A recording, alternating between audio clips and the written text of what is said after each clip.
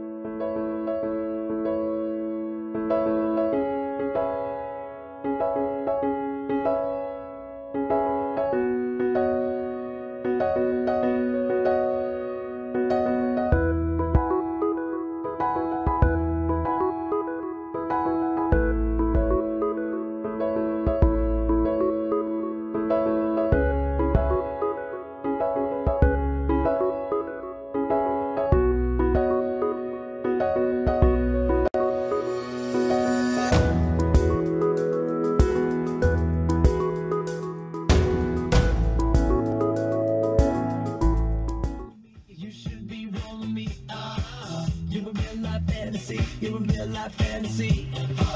But you're moving so carefully. Let's start living dangerously.